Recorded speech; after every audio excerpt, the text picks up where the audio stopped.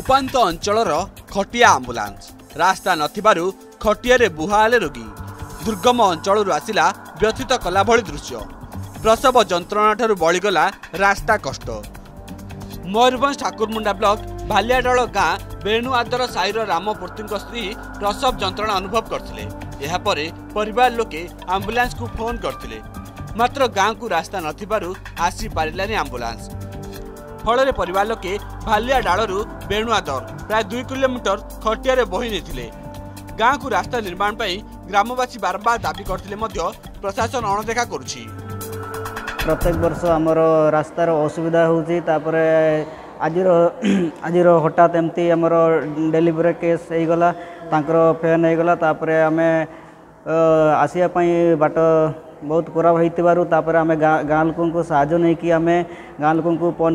गाँ लोक कहलु तापर से नहीं आम कटिया बोक आनलु दुई कोमीटर पर्यत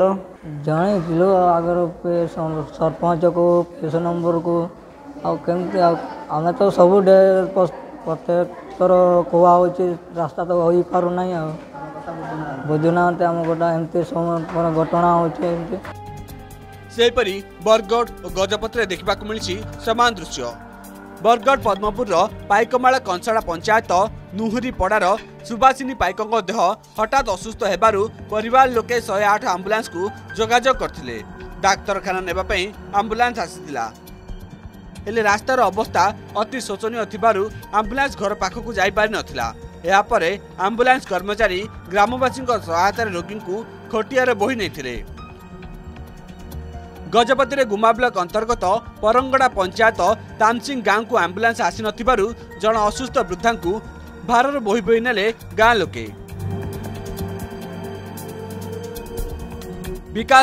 विकल चित्र दुर्गम अञ्चल अपहञ वकास विधानसभन्दा मन्त्रीको तथ्य अनुसार राज्य मोट चौबिस सडसठी गाँ अपहञ हुन्छ तथ्य अनुसार बरगड र समस्त रास्ता रास्था मात्र मती दृश्य बयान गर्ु भिन्न ମୟୂରଭଞ୍ଜର ଶହେ ପଇଁଚାଳିଶ ଗାଁ ଅପହଞ୍ଚ ଥିବାବେଳେ ଗଜପତିର ଶହେ ଷାଠିଏ ଗାଁକୁ ରାସ୍ତା ନାହିଁ ପ୍ରଶ୍ନ ଉଠିଛି ସରକାରୀ ତଥ୍ୟ ଓ ବାସ୍ତବତା ଭିତରେ ଏତେ ଫରକ କାହିଁକି କାହିଁକି ତଥ୍ୟ ଲୁଚାଇବାକୁ ପ୍ରୟାସ କରୁଛନ୍ତି ରାଜ୍ୟ ସରକାର ବରଗଡ଼ରେ ଯଦି ସବୁ ଗାଁକୁ ରାସ୍ତା ଅଛି ନୁହୁରିପଡ଼ା ଗାଁ ଆସିଲା କେଉଁଠି ବ୍ୟୁରୋ ରିପୋର୍ଟ ଅର୍ଗସ୍ ନ୍ୟୁଜ୍